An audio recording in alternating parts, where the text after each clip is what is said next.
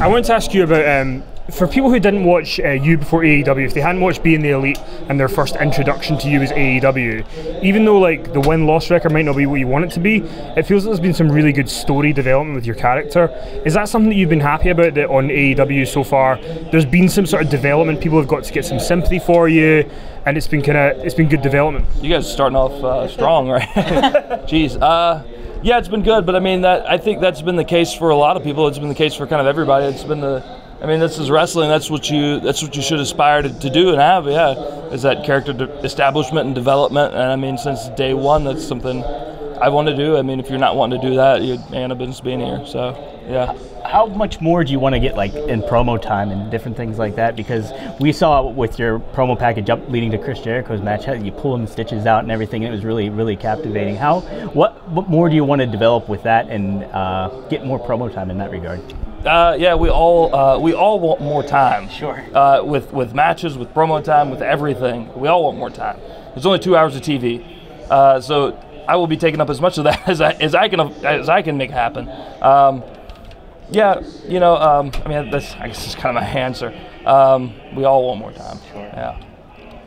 Five weeks into you know having a regular TV show now and, and leading into a pay per view out of TV, how's the feel a little different now? You because you had the standalone shows for so long. Now you've had TV building into these shows. Uh, it's been good. It feels like I've gone back to work, like for good. You know, there were several months there where it was just the pay per views and stuff, so it, it felt strange. You know, kind of like, is this like is this a real thing yet? You know what I mean?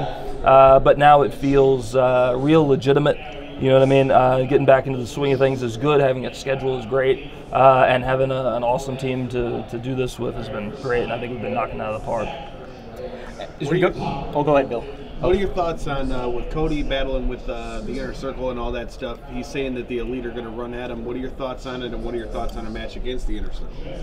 Uh, you know, um, we'll see. You know, if that's the thing. I don't really know. We've a lot of us we've kind of got our own thing going on right now. I know Cody's worried about Jericho right now, so obviously his mind is maybe on the inner circle, maybe more than Kenny, who, who's got a thing with Mox right now, with with me, who I've got a thing with Pac.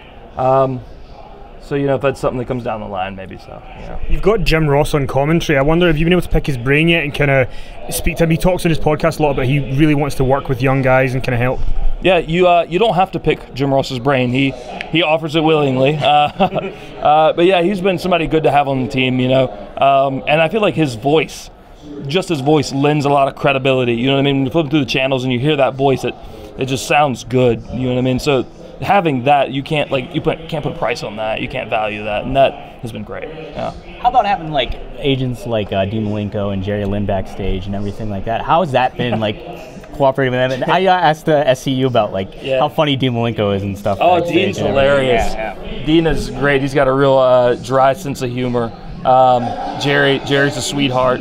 There's a, there's a bunch of others too. Um, it's been good. You know, some guys like to work differently than others, um, but it's good to have those guys who've been around a little bit longer backstage with us um, to maybe not change what we do. We're, we're not changing what we do at any point, but to maybe help us help. Will help some guys at least think through, you know, what they do and how they present themselves. You know, invaluable. How excited are you for your match on Saturday? Uh, should be good. I'm gonna whoop Pac's ass and uh, kick him in the balls afterwards, maybe. Stomp on him actually while he's laying down. Stomp like that. Probably bust him, right? With you guys already having mixed it up once before, does this change your game plan going into this match, or does it, you know, is it just you're trying to get back at him? Uh, I think the match is the same. I'm just gonna try to whoop his ass again. Uh, but the the aftermath, I've just added the stomp on the balls part. Yeah. Good exclamation point. You've Yeah. been wrestling. You've been wrestling for years and years. I wondered when you went to weekly TV, was there anything unexpected that you weren't expecting when you went into doing TV every week? And how has that adjustment been for you, kind of doing that? Uh, you know, no, no real adjustment. You know what I mean? I mean, we we all do this for an audience, a live audience, right? So like you're used to that. You know, there might be bigger audiences now than they were a couple of years ago, but it's the same thing. Uh, and we all have done this for years and years for camera. Uh, now that it's live TV, it doesn't make a huge amount of difference between you know what you're doing. Really. I mean, that's how I feel. Somebody else might have a totally different answer. I'm sure some of the guys who've never done TV and stuff like that before, it's just like mind blowing. But Because you mentioned that you always kind of want to get more, and with such a big roster, it is kind of one of those things that one week there might not be something for you, the next week I wonder if that's maybe like an adjustment that you might be there, but you might not get to contribute that week and kind of adjust into that. Yeah, that, that's been true. There have, uh, I mean, there's only been one week I didn't have a match, um, but I did thankfully get to, to do something that week. Um, excuse me, a little sick. Um, but yeah, there, uh, yeah, there, there'll be some weeks, and there have been some weeks where guys just won't get used. It's two hours, and then you got to factor in commercials. Um, so just you know, everybody's everybody is kind of fighting now. I'm sure they will be more for that time.